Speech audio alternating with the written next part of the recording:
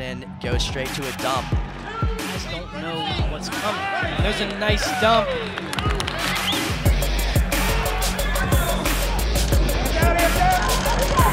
Positioning for the pin. What? Rahmani gets the pin at What? 157. What an exchange right there.